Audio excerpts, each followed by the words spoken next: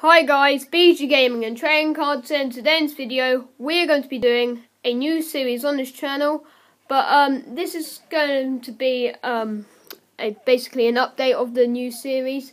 So um, the series is basically we open one pack of the Euros, the FIFA 365, the BPL packs, whatever you want us to open guys from football collections um, and yeah, you know there's five stickers per pack in this one.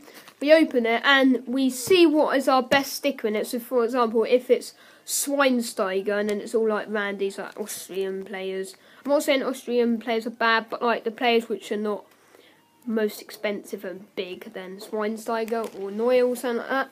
And then we put it into a team on um, FIFA 16 career mode, guys.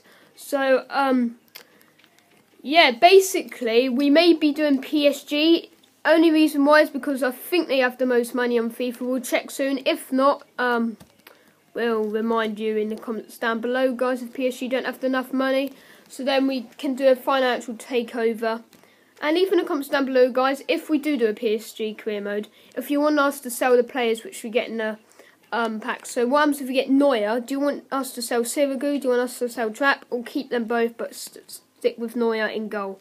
So comment down below if you want that as well, guys. So yeah, I hope I make sense in this video, guys, and I hope you understand. So I hope you enjoyed this video. Please smash it up and subscribe down below. I'll see you guys later. Bye. Bye. So this series is basically going to be called Cards and Stickers FIFA. I think so.